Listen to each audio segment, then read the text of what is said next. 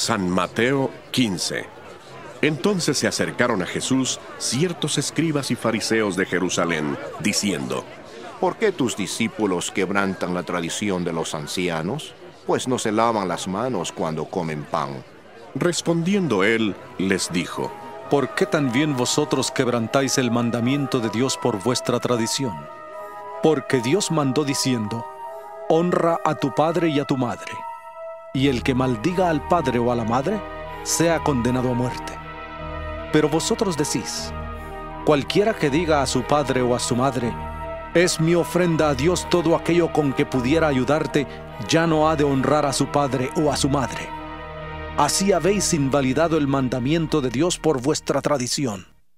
Hipócritas, bien profetizó de vosotros Isaías cuando dijo, Este pueblo de labios me honra, mas su corazón está lejos de mí, pues en vano me honran, enseñando como doctrinas mandamientos de hombres. Y llamando así a la multitud, les dijo, Oíd y entended. No lo que entra por la boca contamina al hombre, pero lo que sale de la boca, esto contamina al hombre. Entonces, acercándose sus discípulos, le dijeron, ¿Sabes que los fariseos se ofendieron cuando oyeron esta palabra? Pero respondiendo él, dijo, Toda planta que no plantó mi Padre Celestial será desarraigada. Dejadlos son ciegos guías de ciegos. Y si el ciego guía al ciego, ambos caerán en el hoyo. Respondiendo Pedro, le dijo, Explícanos esta parábola. Jesús dijo, ¿También vosotros estáis faltos de entendimiento? ¿No entendéis que todo lo que entra en la boca va al vientre y es echado en la letrina?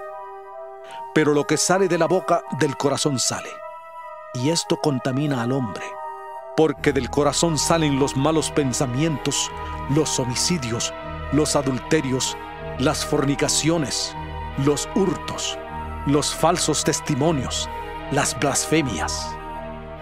Estas cosas son las que contaminan al hombre. Pero el comer con las manos sin lavar no contamina al hombre. Saliendo Jesús de allí, se fue a la región de Tiro y de Sidón. Entonces una mujer cananea que había salido de aquella región comenzó a gritar y a decirle, Señor, hijo de David, ten misericordia de mí. Mi hija es gravemente atormentada por un demonio. Pero Jesús no le respondió palabra. Entonces, acercándose sus discípulos, le rogaron diciendo, Despídela, pues viene gritando detrás de nosotros.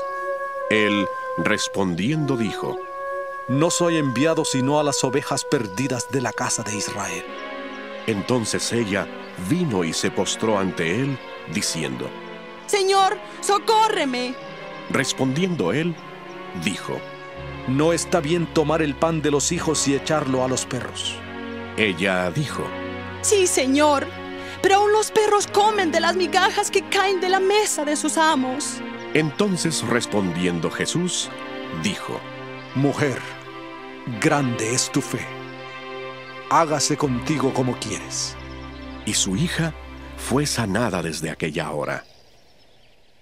Pasó Jesús de allí y fue junto al mar de Galilea, y subió al monte y se sentó allí. Se le acercó mucha gente que traía consigo cojos, ciegos, mudos, mancos y otros muchos enfermos. Los pusieron a los pies de Jesús y los sanó de manera que la multitud se maravillaba al ver que los mudos hablaban, los mancos quedaban sanos, los cojos andaban y los ciegos veían, y glorificaban al Dios de Israel. Jesús, llamando a sus discípulos, dijo, Tengo compasión de la gente, porque ya hace tres días que están conmigo y no tienen qué comer.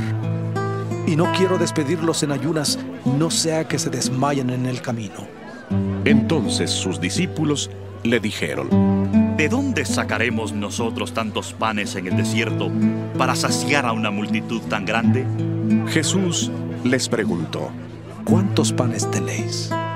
Y ellos dijeron, siete y unos pocos peces. Entonces mandó a la multitud que se recostara en tierra. Tomó los siete panes y los peces, dio gracias los partió y dio a sus discípulos, y los discípulos a la multitud.